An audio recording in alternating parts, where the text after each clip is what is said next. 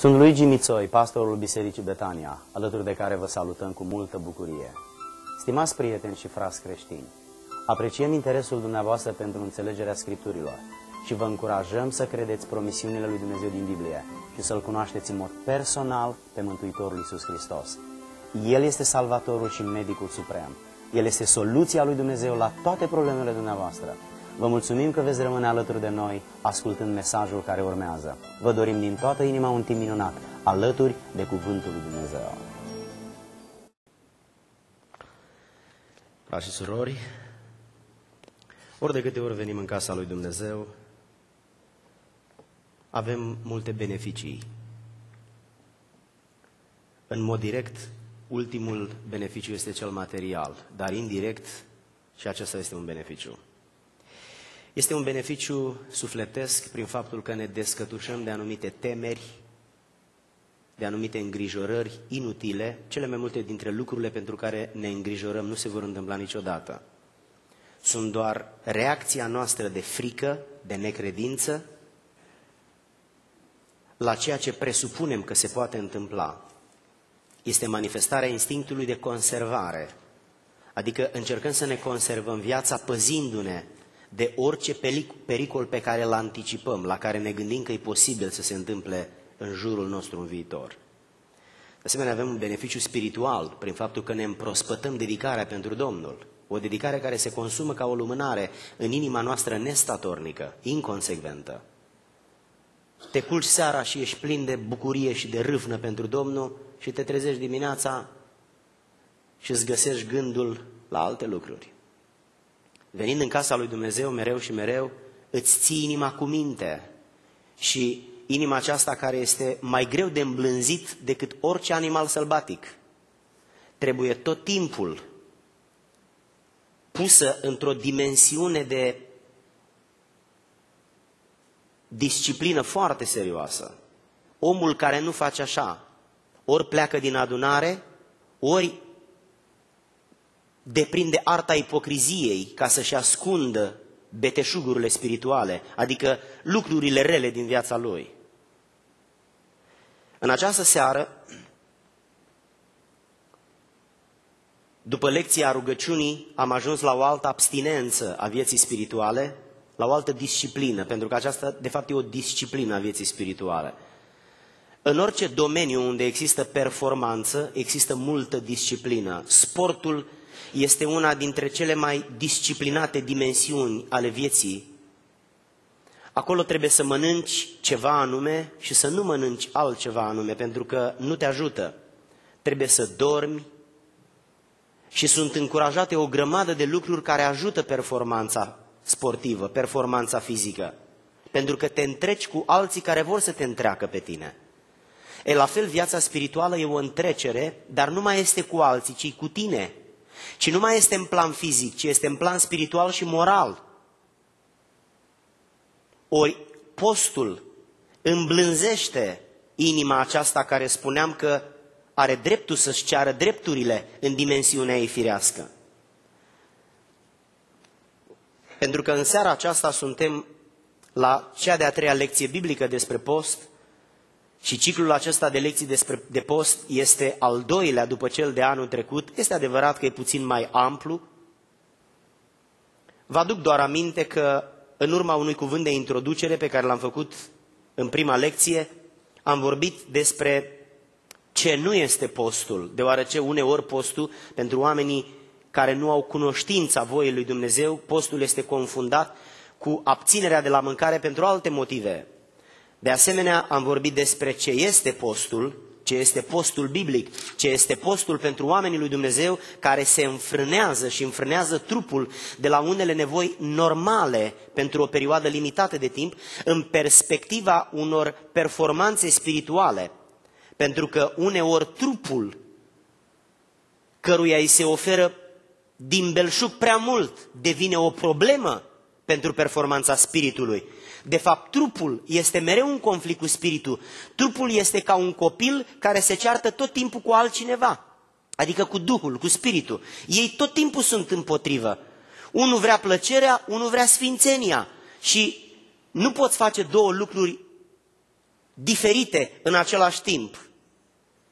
De asemenea, am vorbit despre scopul postului și când am ajuns la scopul postului, am enumerat versete din Biblie, din Biblie unde oamenii lui Dumnezeu au postit situații de calamitate, dacă vă mai aduceți aminte, necazurile vieții, suferințe personale, pericole mari, consacrarea liderilor, textul pe care l-am citit în această seară, misiune, oamenii când se duc în misiune, dacă nu îi însoțește puterea lui Dumnezeu, efortul nu se merită pentru că eficiența este minimă, nu și atinge scopul, trebuie să fie acolo puterea lui Dumnezeu, că noi nu avem de luptat cu oamenii, avem de luptat cu duhurile diavolului, pe care nu le putem birui decât prin puterea lui Dumnezeu, dacă este în noi.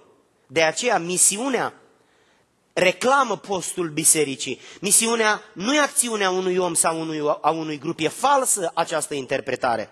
E o interpretare firească și necreștină. Misiunea, Domnul n-a spus unui grup de oameni faceți misiune, a spus bisericii faceți misiune.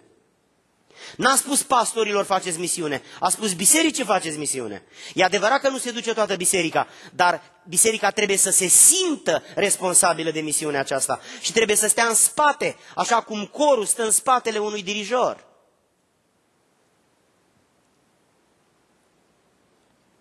Am vorbit despre întristare sau aducere aminte ca motiv de post, despre judecățile iminente a lui Dumnezeu, despre un proiect mare și ne-am oprit la citirea scripturilor, dacă vă mai aduceți aminte.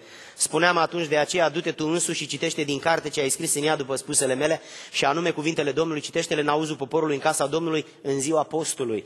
Dumnezeu știe că în ziua postului inima e mai bună, pentru că nu este înfășurată în, în, în mâncare, în băutură, în îndestulare, ci este pusă deoparte într-o stare de abstinență și în starea aceea de abstinență e mai înclinată înspre lucrurile spirituale. Și Dumnezeu spune, citește Biblia în ziua postului, că o vei înțelege altfel, vei avea altă predispoziție, altfel îți va sta mintea la ce citești. Că important nu e să treci peste un capitol din Biblie, ci important e să citești un capitol din Biblie.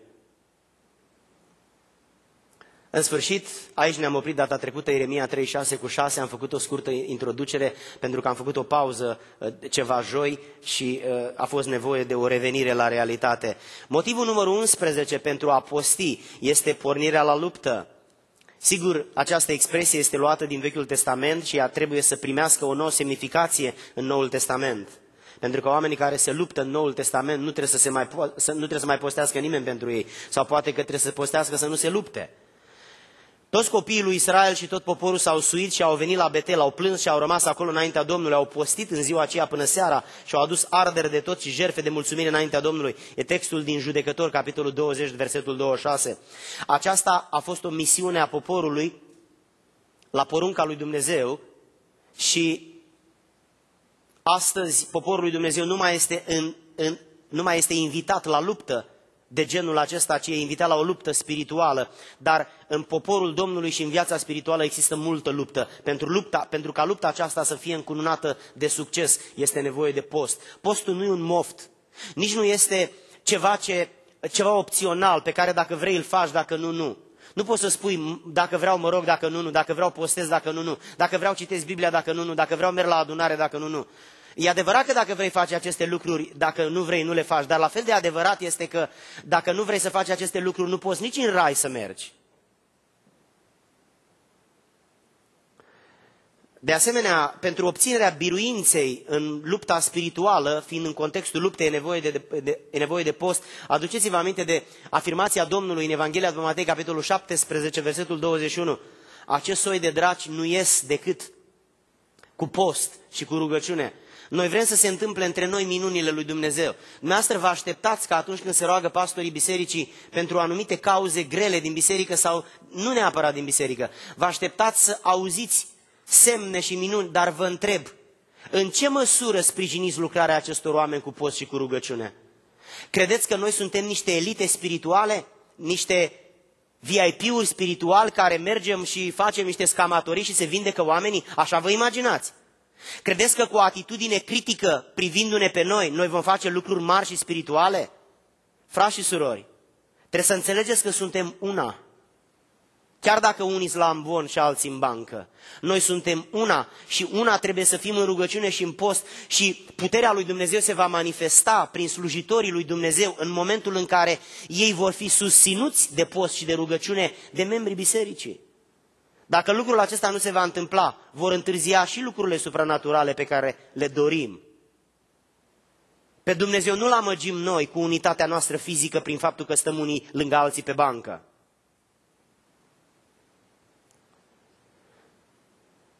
Capacitatea de veghere, de asemenea, este un alt motiv pentru post. Fiecare dintre noi avem o anumită rezistență la efort. Trebuie să acceptăm că dacă luăm o persoană din adunare,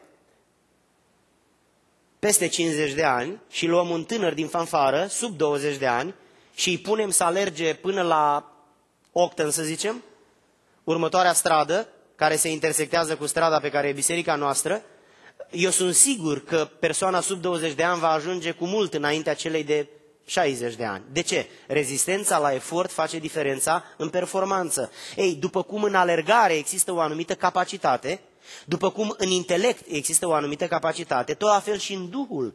În viața spirituală există o anumită capacitate. După cum există rezistență la efort, există și rezistență la ispită. Și după cum unii nu au rezistență la efort, de-abia dacă se duc să-și ia o sticlă cu apă obosesc, datorită vârstei sau bolii. Tot la fel, datorită vârstei spirituale sau bolii spirituale, unii nu rezistă la efort spiritual. Și Biblia recomandă capacitatea de veghere în vederea înfrânării trupului. Pentru că asta este marea problemă. Prin trup se manifestă poftele. Și diavolul le amplifică prin ispită. Ispita nu ne atrage Duhul, ne atrage trupul. Iar Duhul este învins de trup care țipă la el. Care îi pune mâna la gură, care îl sufocă prin nevoile lui de plăcere. Și uitați ce recomandă Scriptura. Luați seama să nu vi se îngreuieze inima cu îmbuibare și cu mâncare de băutu- și băutură. Nu spune Scriptura să nu vi se îngreuieze inima cu venirea la adunare. Sunt oameni care spun, dar de ce te duci la adunare așa mult, mă? E frică că îi se îngreuiază inima cu mersul la adunare. Nu se îngreuiază inima nici cu mersul la adunare, nici cu rugăciune multă, nici cu post mult. Inima se îngreuiază cu păcat și cu abținerea de la lucrurile spirituale, nu cu abținerea de la lucrurile vieții pământești.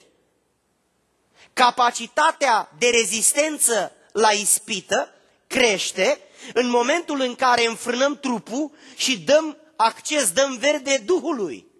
Că Duhul are putere asupra ispitei, nu trupului. Carnea e neputincioasă, inima omului e nespus de înșelătoare și deznădăjduit de rea. Dacă o mai și îmbuibăm și prinde putere, prostiile le face cu mai multă autoritate. De asemenea, postul ajută la dedicarea noastră în slujbă. Știu că uneori sunteți nemulțumiți de predici slabe, de cântări slabe, de conducere slabă, de uitarea anumitor lucruri din slujbă, de lipsa puterii spirituale în rugăciune, în manifestarea puterii sfinte. Știu asta. Și eu am unele uh, nemulțumiri legate de lucrul ăsta, pentru că nu suntem desăvârșiți nici ca biserică, nici ca păstori, nici ca și comitet, ca nimic nu suntem desăvârșiți. Suntem în drumul înspre desăvârșire. Ori, cum vom ajunge noi să creștem mai mult decât am fost până acum, dacă nu vom posti mai mult decât am postit până acum? Știți că dacă muncim cât am muncit până acum, profitul va fi egal cu cel de până acum. Dacă vreți un profit mai mare, trebuie o muncă mai multă. Nimeni nu ne dă bani mai mulți dacă muncim la fel. Nu vom fi mai tari în Duhul dacă postim cât am postit până acum. Și vom fi la fel. Ori la fel înseamnă mai puțin. Acolo au postit 40 de zile și 40 de nopți și apoi a flămânzit. Este momentul promovării în slujba al Domnului Isus Hristos. Matei 4 cu 2. Sau un alt scop este căutarea lui Dumnezeu și apropierea de El. Uh, în generația părinților și a bunicilor noștri exista o expresie uh, sunt, sunt într-o perioadă în care vreau să mă apropii de Domnul. Expresia aceasta nu mai există astăzi. Ați mai auzit-o? Ați mai întâlnit ce este în spatele ei? Adică un om să-și pună în minte să se apropie de Domnul într-o perioadă de timp, o lună, două, trei, și în luna aceasta să accentueze lucrurile spirituale și să descurajeze lucrurile nespirituale, ba chiar pentru o perioadă de timp și pe cele omenești. De pildă mâncarea, băutura, că acestea sunt necesare, nu zrele, sunt amorale, spuneam. Nu sunt morale, nu sunt morale, sunt amorale. Astăzi lipsesc din ce în ce mai mult oamenii care se apropie de Dumnezeu într-o perioadă de timp, urmărind sfințirea, accelerând sfințirea, căutând sfințirea prin excelență, ca pe un lucru special într-o perioadă de timp. Aduceți-vă aminte ce recomandă Pavel în contextul relației intime din cadrul familiei. Spune el, bărbatul trebuie să se împreuneze cu soția datorită diavolului care îi spitește pe fondul abstinenței. Dar, pentru o perioadă de sfințire, de post, de rugăciune, trebuie să faceți pauză de la aceste nevoi intime, după cum și de la nevoile de hrană. Dar, după aceea să reveniți la mâncare și la băutură, că muriți, dar să reveniți și la relația normală, intimă din cadrul familiei. Observați o perioadă de sfințire. Mai sunt astăzi astfel de zvâgniri? Toată lumea e cu ochii pe mâncare, cu ochii pe distracții, cu ochii pe confort. Timp în care așteptăm semne și minuni. Cine să le facă? Pavel a murit.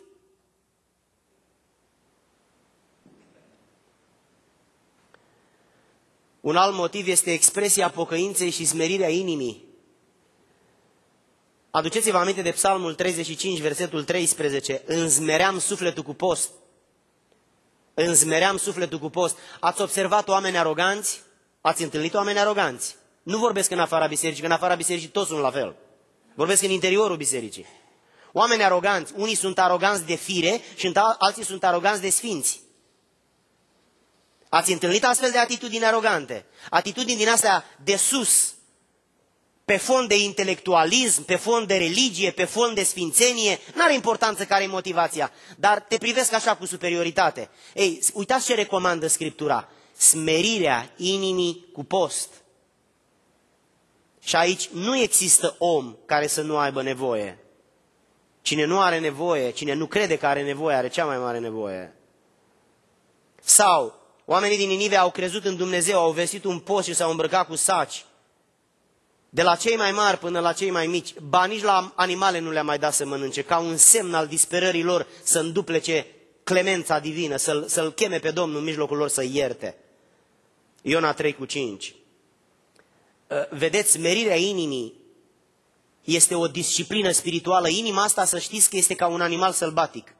Și exact cum se îmblânzește un animal sălbatic, așa trebuie îmblânzită inima. Care este metoda numărul unu în îmblânzirea unui animal sălbatic? Consecvența. Dacă odată nu faci cum l-ai obișnuit, în mintea lui nu mai știe ce să creadă, că e animal, nu are minte. Așa e inima. Odată dacă o lași să iasă la loc larg, două luni de zile trebuie să o bagi la loc în cușcă. Asta trebuie ținută cu o țără, de, cu o firmitură de pâine și cu o picătură de apă. Că dacă mănâncă mult, rupe lanțul. Nu mă refer la mâncarea fizică neapărat, nu vă îndemn să nu mâncați. Bucurați-vă de ce ne oferă Dumnezeu și de binecuvântările Lui. Mă, mă gândesc că mă înțelegeți. Pentru succesul unei misiuni, spuneam mai devreme și trec pe la gândul acesta, deoarece Biblia abundă în misiune mai mult decât în viața sedentară din biserică. Uitați ce spune cuvântul Domnului în câteva texte biblice. Pentru aceasta am postit și am chemat pe Dumnezeu și El ne-a ascultat. Pentru ce? Ezra 8 cu 13. Omul acesta a avut o lucrare mare de restaurare în Israel. Sau, pe când slujeau Domnului și posteam textul pe care l-am citit la început din fapte 13. Apostolul Pavel a fost un exemplu de post și de rugăciune. Nici nu ar fi putut să facă lucrarea de misiune pe care a făcut-o dacă nu postea și nu se ruga. Omul acesta n-a stat undeva liniștit și din când în când mai mergea pe la amvon și mai spunea trei versete biblice. Omul acesta s-a expus cu totul, s-a dedicat Domnului. El n-a mai făcut altceva, numai asta a făcut. El nu făcea asta din când în când, ci ăsta era stilul de viață. Uitați ce spune Biblia despre el. Peste Trei zile imediat după ce s-a convertit, spune Scriptura, trei zile n-a văzut, n-a mâncat, n-a băut nimic, fapte nouă cu nouă, imediat după ce s-a convertit la credința creștină. El spune în 2 Corinteni, capitolul 6, versetul 5, în vegheri și în posturi. Povestește el despre trecutul lui, despre experiențele pe care le-a avut în timpul vegherilor și în timpul postului. Știți ce e aia veghere? Veghere înseamnă misiunea unei santinele pentru o perioadă limitată de timp, că n-ai, n-ai capacitatea fizică să veghezi mult. De aceea se pune pentru două ore, pentru patru ore sau pentru șase ore. Depinde de intensitatea vegherii. Dar nu există veghere de 24 de ore. Că nu poate omul să reziste să se uite așa 24 de ore. Vegherea e scurtă. Pavel spune, am avut momente de veghere adâncă, când așa am stat. De asemenea, în posturi, n-a fost o atitudine de lasă-mă să te las.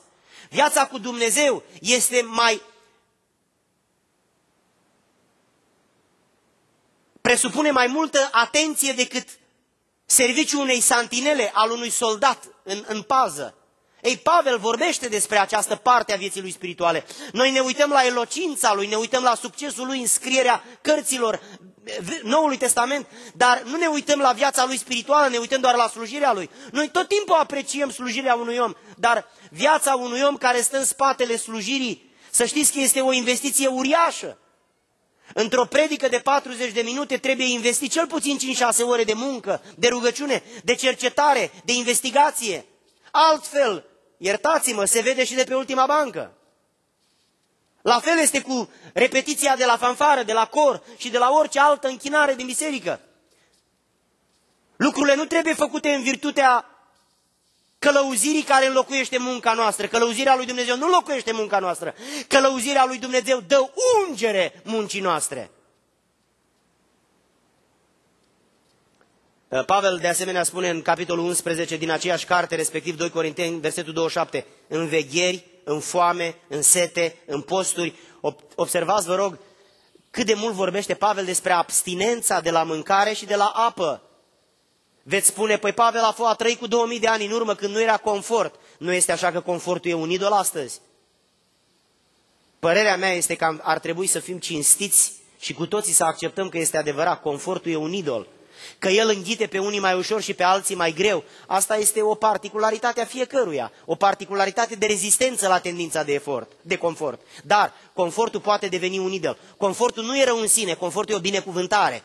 E o binecuvântare maximă, dar această binecuvântare, ca oricare alta, poate deveni blestem prin exagerarea ei în întrebuințare, punând-o și în locul altor lucruri, de pildă în locul inconfortului.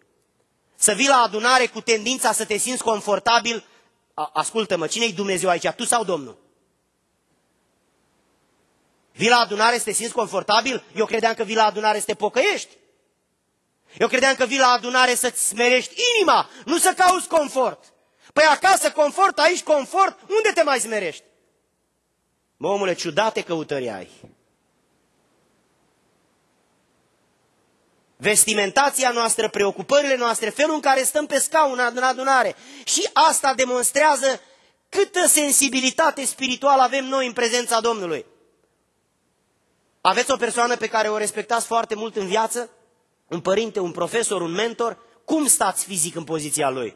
În America asta lipsește în mare măsură. Asta este una dintre marile probleme ale Americii. Lipsa de respect. Am desfințat pe dumneavoastră și l-am lăsat pătut de la cap la cap. Și tu ăsta a adus mult blestem în națiunea asta. Atunci când stăm înaintea Domnului, ar trebui să avem o reverență în vestimentație, ar trebui să avem o reverență în preocupare, să vii înaintea Domnului să-i spui, Doamne, vină și binecuvintează-mă și la urmă să vorbești o jumătate de oră cu cel de lângă tine. Dumnezeu zice, dar am auzit că m-ai chemat. Ce ai făcut? Ai glumit sau ai vorbit serios? Toate lucrurile acestea par complicate datorită mediocrității vieții spirituale. Frați dragi, pocăința să știți că poate fi atât de minimalizată până când nu mai e pocăință. Și aia nu-i treabă și nu aduce nimănui bine.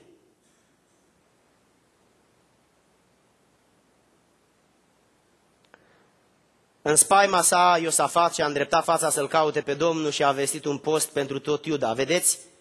Paza de primejdii. Fiecare dintre noi ajungem înspăimântați în anumite momente ale vieții, că suntem oameni din țărână.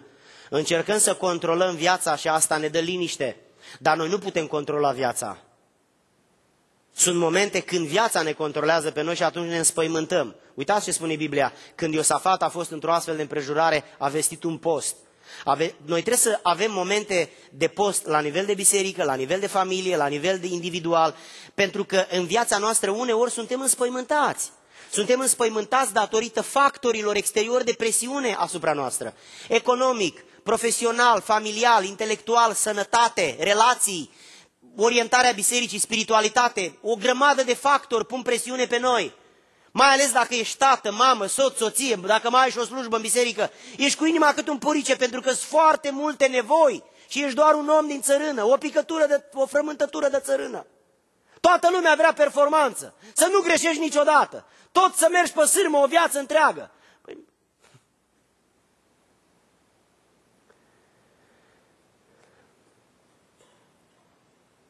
Ioel, capitolul 2, versetul 12. Dar chiar acum, zice Domnul, întoarceți-vă la mine cu toată inima, cu plânset și cu bocet. Observați un mod de a te întoarce la Domnul cu plâns și cu bocet. Ce înseamnă bocet? Mai vă aduceți aminte de bocitorile din România sau de bocitorile orientale? În Orient există obiceiul să se angajeze femei care plâng pentru mort. Că familia nu are niciun sentiment, nu are motive să plângă. Și atunci cheamă niște femei să plângă pe bani, face că fac gălăgie. Adică e o meserie să plângi, să bocești. Adică, aoleu, aoleu, aoleu, ceva de genul ăsta. Ei, Biblia spune, întoarceți-vă la mine cu aoleu, cu bocet, să vă doară înăuntru, să vă pară rău. Terminați cu confortul și cu maimuțeala. Unde e pocăința asta? Nu mai e nevoie de ea. Vestimentația e din ce în ce mai așa cum e. Lănțișoarele și cercei bat la ușa bisericii și spunem, da ce rău, că și americanii poartă. Dar nu, nu-i vedeți unde au ajuns. Nu, nu vreau să subapreciez performanța nici spirituală și nici într-un alt domeniu a acestei națiuni. Eu nu vorbesc împotriva lor. Pentru că ei au lucruri pe care le fac la o asemenea performanță încât noi mă gândesc că trecem la Domnul și nu ajungem. Dar asta nu înseamnă că le fac pe toate bine.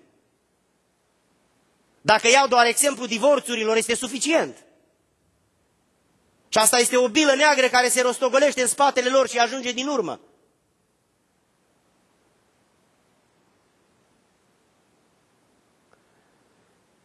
Estera, capitolul 4, versetul 16. Aduceți-vă aminte de inițiativa unei femei. O femeie Când nu știi cum să scapi de dușman, postește. Când nu mai ai soluții la problemele vieții, postește. Când nu știi cum să scapi, postește. Când ești prea mic pentru ce este nevoie să fii și să faci, postește. V-am mai spus odată despre faptul că în istoria Statelor Unite au existat situații de post național și astăzi există, dar e diferit. Când au rezolvat probleme grave, complicate, folosind postul ca pe o soluție divină. George Washington în secolul XVIII, datorită embargoului pus de Marea Britanie asupra uh, orașului, asupra portului Boston, ei au, au declarat o zi de post național. Sau alții și alții și alții care, John Adams sau uh, Lincoln sau mulți alții care au declarat zile sau perioade de post național uh, datorită unor situații de criză, când Franța a amenințat uh, Marea Britanie sau când Marea Britanie a amenințat America sau alte și alte situații de criză, de război, de economie, atunci oamenii au fost atât de striviți de, măre, de uh, măreția acestor probleme încât n-au mai știut cum să rezolve lucrurile decât postind și rugându-se. Și Dumnezeu a apreciat smerirea inimilor. Pentru că ce îl deranjează pe Dumnezeu la oameni, la om, este înălțarea inimii lui, mândria lui, prostia care îl înalță și îl face să se simtă umanist.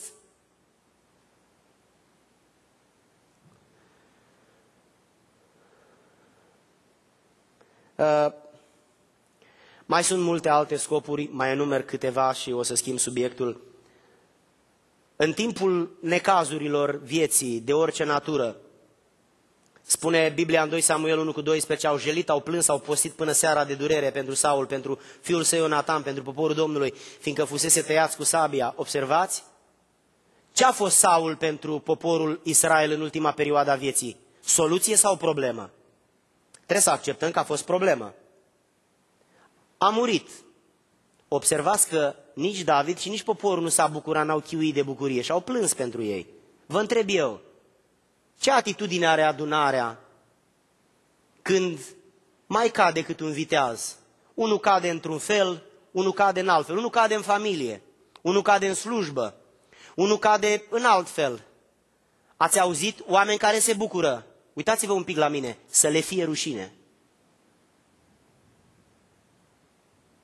Mă bucur eu vreodată de fratele meu că a alunecat, că și-a pierdut business-ul, că a divorțat, că i s-a îmbolnăvit un copil, că a făcut accident. Păi înseamnă că mi-am pierdut judecata, nu mai mi-a rămas decât ambalajul, conținutul s-a dus.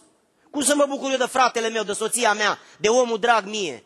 Cum să mă bucur eu de poporul Domnului că e în necaz? Cât duh rău să fie într-un om ca să se bucure de răul, de falimentul, de nenorocirea, de criza unuia din adunarea Domnului. Păi Saul a fost o problemă în Israel și când a murit, așa problemă cum a fost, l-a plâns David și poporul și au postit și s-au amărât și și-au pus cenușă pe cap. Ăia care zicem noi că dormeau în corturi și erau primitivi. Nu știu dacă emanciparea secolului 21 a adus binecuvântare sau blestem. De fapt știu, dar nu zic nimic. Înaintea unor mari lucrări spirituale, înaintea unor mari lucrări spirituale, din nou e nevoie de post. Încă un scop este atunci când în față ne stau lucrări mari spirituale. Vedeți, am avut și noi câteva luni, iunie a fost o lună sufocantă. Am avut botezul în apă, am avut ordinări, am avut o lună plină de evenimente așa mari și fiecare dintre noi am venit la biserică și am așteptat niște lucrări extraordinare un aranjament grozav, o atmosferă, un decor, o predică, o rugăciune grozavă. Dar lucrările acestea mari, frații mei, dincolo de faptul că le organizează pastorii, trebuie susținute cu post și cu rugăciune. Înaintea unor lucrări mari trebuie post. Trebuie post. Nu se poate fără. Faptul că eu stau acasă și încerc să fac o predică ca să aduc învățătură în popor nu rezolvă problema pe deplin.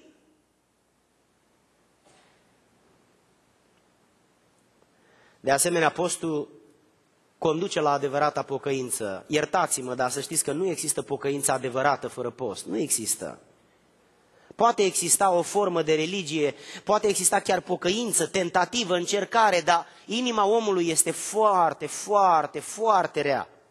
Foarte rea și șmecheră. Și dacă omul nu postește, nu o încolțește, nu o pune la colț, la respect, atunci când e lumea mai dragă are probleme. Postul este absolut indispensabil.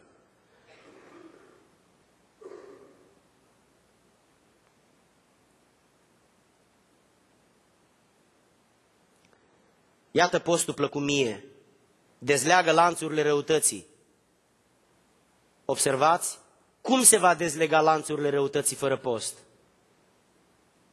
Deznoadă legăturile robiei. Aici se referă că ții rob pe cineva într-un anumit fel, îl ai la mână cu ceva sau, mă rog, într-un fel profiți de autoritatea, de puterea care o ai și îl ții rob, îl ții dependent de tine, îl ții la mâna ta.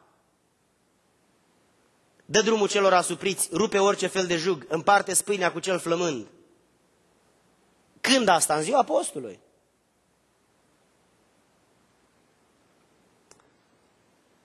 Generațiile mai în vârstă aveau obiceiul acesta care se desprinde din textul din Isaia și nu numai cu banii economisiți din necumpărarea alimentelor în ziua de post, făceau bine cuiva, îi dăteau altcuiva. Împarte spâinea cu cel flămând. Iată postul plăcut mie. Și știți textul din Isaia, nu-l mai citesc. Sensibilitatea inimii e ultimul lucru pe care vreau să-l spun. Frați dragi, cea mai mare problemă astăzi este sensibilitatea inimii, nu neapărat în viața spirituală, în orice problemă în orice dimensiune a vieții. Uitați-vă doar, uitați-vă doar între soț și soție și gândiți-vă dumneavoastră, judecați critic ce spun eu. Nu-i cea mai mare nevoie astăzi sensibilitatea unuia față de celălalt? Ce înseamnă sensibilitate? O atitudine de milă, de bunătate, de duioșie, de îngăduință, de toleranță, de bunătate față de, de partener suntem grăbiți, suntem nervoși, ne-am obișnuit unul cu altul, suntem de 25, de 30, de 40 de ani, unii mai mult, alții mai puțin, ne-am obișnuit și totul se rezumă la niște automatisme. Da, nu, uh-huh, uh-uh, și așa mai departe. Asta e sensibilitate? Asta e relație? Ne-am împietrit. E nevoie, începând din familie, în biserică, peste tot, de mai multă bunătate, de mai multă clemență, de mai multă milă, de mai multă îngăduință. Sensibilitatea aceasta este o stare a inimii. Nu mă refer la o atitudine forțată, ci la ceva natural.